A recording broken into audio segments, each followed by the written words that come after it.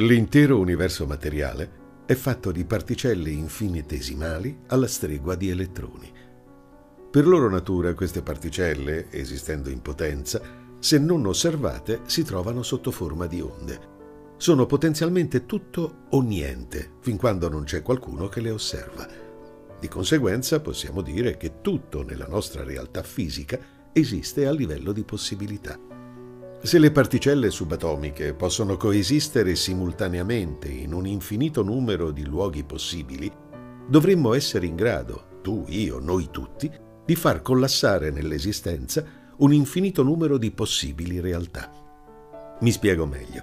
Se riesci a immaginare nella tua vita un qualsiasi evento futuro che nasca da un tuo desiderio, a livello potenziale, quella realtà sognata esiste già nel campo quantistico e aspetta solo di essere osservata.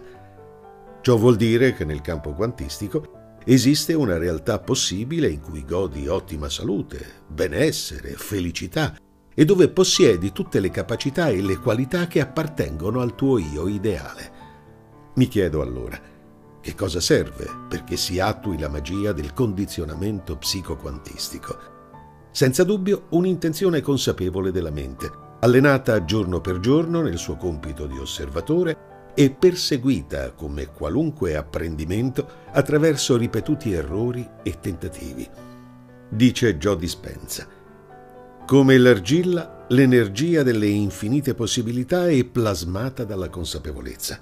Siccome sappiamo la materia è fatta di energia, sia pure ad una frequenza più bassa, a maggior ragione il pensiero e l'energia sono così intimamente correlate da essere scambiate per una cosa sola. Mente e materia sono interconnesse.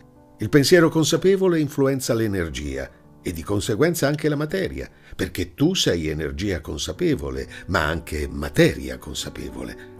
Secondo il modello quantistico, la realtà fisica è un campo quantico di possibilità, interconnesso e unificato, fatto materialmente di nulla, ma potenzialmente di tutto. L'universo dei quanti vive in attesa che arrivi un osservatore cosciente, te o me, a influenzare, tramite un'intenzione consapevole, l'energia materialmente potenziale del campo per collassarla e trasformarla in esperienze fisiche o eventi nella nostra vita. Noi comunichiamo con il campo quantistico attraverso il pensiero e le emozioni.